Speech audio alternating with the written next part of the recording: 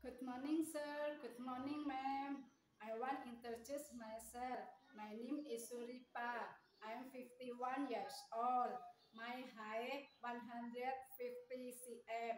My weight 48 kg.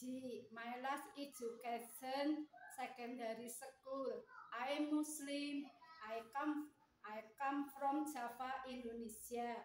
I married. I have one son, 16 years old. I have experience six years in Taiwan and seven years in Singapore. My job before take care for children, take care for baby, and take care for elderly. Cooking, go to market and housekeeping, wash car.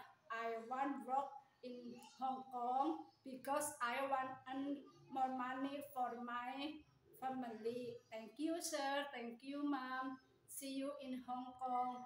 Thank you. Bye bye.